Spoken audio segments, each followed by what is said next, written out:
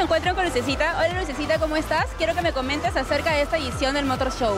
Hola, ¿qué tal? Un saludo para toda la gente de Vida Divinas. Estamos aquí en el Motor Show, por supuesto, como siempre, Fagamotos con la presencia eh, aquí en este evento tan importante y tan recurrido, sobre todo tan concurrido. La gente ha venido muchísimo hoy eh, en especial, así que estamos felices porque nos han llegado nuevos modelos y porque la gente está siempre, siempre informándose a ver de, cuáles son las novedades de Fagamotos.